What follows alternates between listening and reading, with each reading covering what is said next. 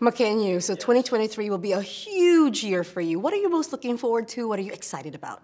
Oh man, I'm I'm truly excited about 2023. There's so many stuff coming out, and um, I am looking forward to uh, see what my friends say and what Japan says about the stuff that's coming out.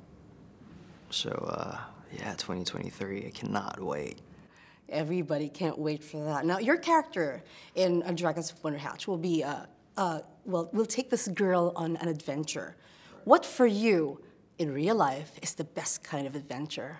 Oh man, like this, this is going to uh, different countries, shooting, making dreams come true, and making just filmmaking is is an adventure for me.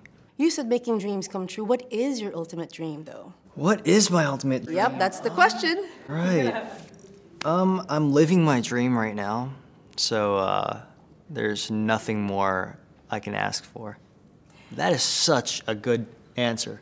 because this is a real answer. So you are a dragon rider on Dragons of Wonderhatch. So if you could ride a dragon, where would you fly to like that? Oh, Philippines for sure. You've never been to the Philippines? Never been to the Philippines. I am inviting you. We have the best beaches there. You'd love it there. Yeah, I had friends from the Philippines, but I've never been there.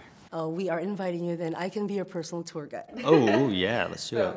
Your physicality in your movies is amazing, like Thank in you. the final Rurukan. Oh my God. Thank you. So how do you maintain that kind of, of physicality? Do you uh, work out every day still, or on your off season, do you rest a bit and say, I need this? break"? Oh, I rest big time.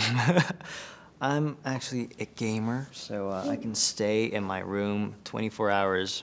I'm fine with that. But um, I think, I think um, doing karate or like and wrestling and stuff helped me probably do my action scenes because uh, I started at a young age, so it's still in me.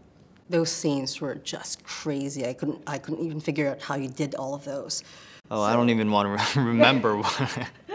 So, which now that you're going international, uh, which international actors would you, do you dream of working with? right, that's. I don't really have one. Oh, no, I do. Tom Holland. I love him. Would you love to be a villain in Spider-Man then? No. no, but I like. I, I loved uh, No Way Home. I loved it. Thank you very much, Mackenyu, for your time. Thank you.